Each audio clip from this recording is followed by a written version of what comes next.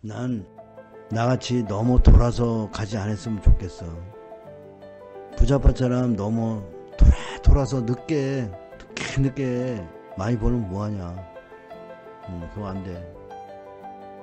이 주식은 내가 연구해 봤더니 그 깡통을 왜 시키나 봤어. 그러니까 깡통은 다 내, 나야, 나. 내가 공부하지 않고 욕심 낸 데서 깡통이 오는 거야. 깡통은 내가 자초한 거지. 내가 용자받았잖아. 내가 그 인기주 꼭대기에서 잡았잖아. 네가 잡았지 내가 잡으랬니? 깡통은 결국 당신의 심보를 말하는 거야. 계좌가 말을 하고 있다고 심보를.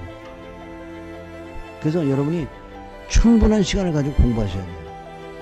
더 많은 시간을 들이고 공부할수록 지식을 많이 얻고 더 많이 책을 읽어야 그래야 더 많은 수익을 나중에 얻을 수 있다.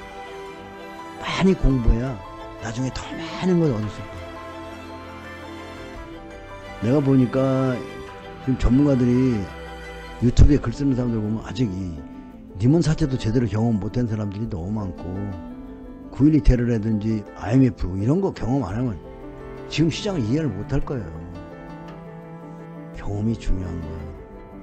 여러분들도 이 시간 속에서 경험과 공부 이거를 더 많이 여러분 걸로 만들려고 노력하시는 게 중요합니다.